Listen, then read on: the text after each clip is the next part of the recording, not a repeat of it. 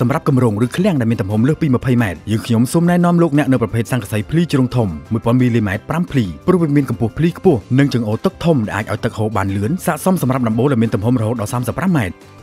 សូមចូលទៅកាន់ទំព័រ Facebook របស់យើងដើម្បីទទួលបានវីដេអូថ្មីៗដែលចែករំលែកគន្លឹះសំខាន់ៗស្ដីពីដំណោះស្រាយដំបូល។